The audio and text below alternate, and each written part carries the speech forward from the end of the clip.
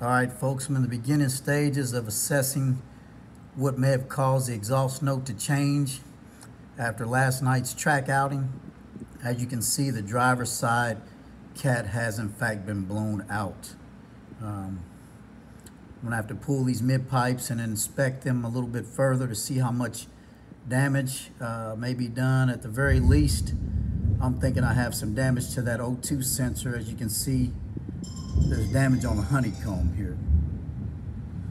Not sure what's going on on the passenger side yet, but we'll get it figured out.